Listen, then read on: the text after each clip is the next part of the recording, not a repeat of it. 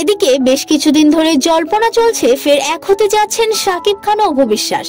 এবার সেই গুঞ্জনেই যেন ঘি ঢেলে দিলেন অপু। আজ রোববার বিকেল চারটার দিকে এই নায়িকার ফেসবুকে হঠাৎ বদলে যায় relationship status got marry status দেখে যখন ভক্ত শুভাকাঙ্ক্ষীরা চোখ কচলে হঠাৎ কি হলো বোঝার চেষ্টা করছেন, এর মধ্যে আবার নাই হয়ে গেল সুখবর সংবাদটি। এবার শঙ্কা আরও বাড়লো, তবে কি হ্যাক হলো নায়িকার ফেসবুক অ্যাকাউন্ট অবশ্য অপু বিশ্বাস শোনালেন স্বস্তির ও মজার ঘটনা। প্রথমত তার অ্যাকাউন্ট হ্যাক হয়নি। দ্বিতীয়ত আঙুলের ভুলে হঠাৎ বিয়ে হয়ে গিয়েছিল তার। তিনি বলেন, আমার অ্যাকাউন্ট হ্যাক হয়নি। আমি নিজেই এই অঘটন ঘটিয়েছি। ইনফো চেক করতে গিয়ে ভুলে এটা হয়েছে। দ্রুতই সরিয়ে নিয়েছি। এর জন্য আমি সবার কাছে দুঃখ প্রকাশ করছি। প্রসঙ্গত, দুই সালের আঠারো এপ্রিলে গোপনে ঘর বাঁধেন শাকিব খান ও অপু বিশ্বাস। দুই সালের দশই এপ্রিল এই দম্পতির বিয়ের বিষয়টি প্রকাশ্যে আসে। ওই দিন সন্তান সহ একটি বেসরকারি টেলিভিশনে লাইভে আসেন অপু।